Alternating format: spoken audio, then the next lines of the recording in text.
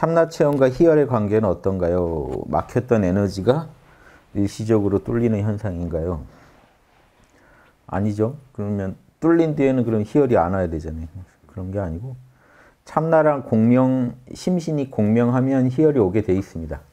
난 요즘 희열이 안 온다 그러면 그 꼭 희열이 와야 되는 건 아닌데 우리 마음에요. 마음 안에 다양한 어떤 또 고민도 있고 그 상황 따라 이렇게 생각해야 될 것도 많고 고려해야 될 게 많잖아요.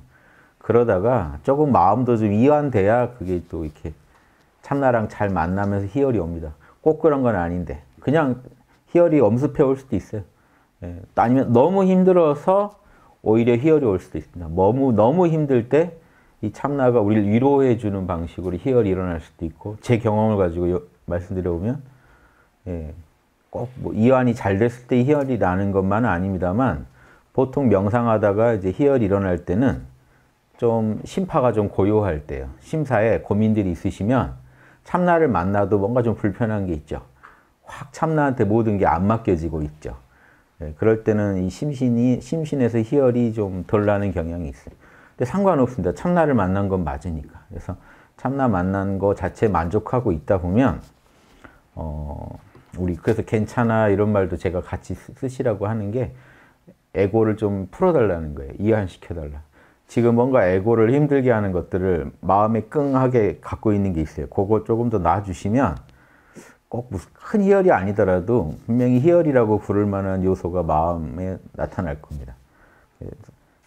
참나에만 몰입하고 있다면 에고는 희열을 느끼게 돼 있어요. 그런데 우리 에고가 어떻게 참나에만 몰입을 해요.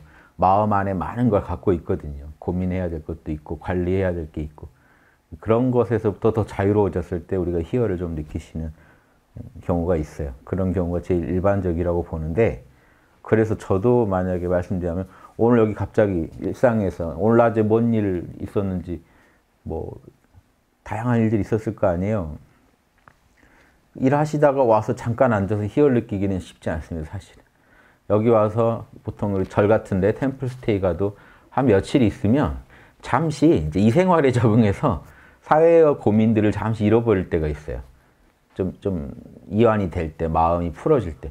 그럴 때 참나각성이 잘 되면 또 희열이 커질 수도 있습니다. 그래서 아, 이게 절에 가야 잘 되나 보다 그런 것보다는 뭔가 내 기존 삶에서 좀 단절돼서 있다 보면 희열이 더 잘 일어날 상황이 만들어지는 거죠. 평소 고민해야 될걸덜 고민하게 되니까. 마음이 좀 더 편해지니까. 네, 그런 차이는 있어요. 그래서 어, 이렇게 좀 접속을 좀 끊고 핸드폰을 좀 끄고 마음을 좀 편하게 둘 때 우리가 좀 더 참나랑 공명할 수 있는 그런 부분도 분명히 있습니다.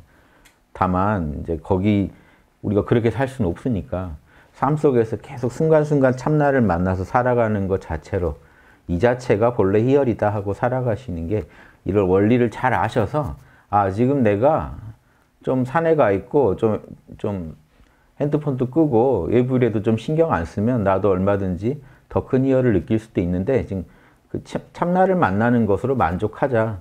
이게 본질 아닌가 이런 식으로 스스로 생각하실 수도 있어야 돼. 희열 자체에 너무 집착하지 마시고.